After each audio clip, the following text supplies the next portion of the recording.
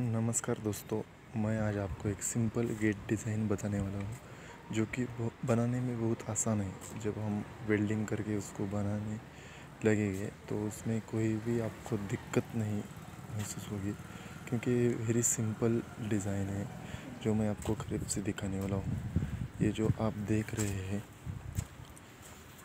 ये इसका हाइट पाँच फुट है। इसका लंबाई, इसमें दो पार्ट्स है एक लेफ़्ट साइड और एक राइट साइड इसका लंबाई टोटल बारह फुट है और स्केयर टूब से और अपना जो प्लेन बारह होता है, उससे बनाया हुआ है। आप आसानी से देखो, ये आप कहीं पे भी यूज़ कर सकते हैं।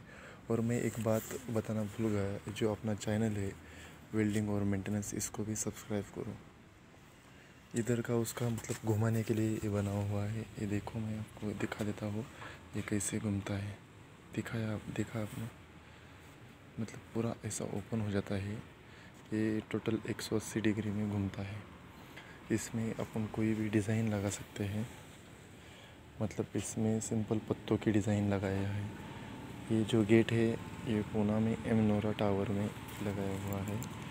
ये सिंपल रास्ते पे लगाया हुआ गेट है। ऑन ऑफ़ करने के लिए उसका जो देख रहे हो आप, जो दिया सिस्टम है, और उस साइड से मतलब के उस साइड से चीज़ बिठाया है।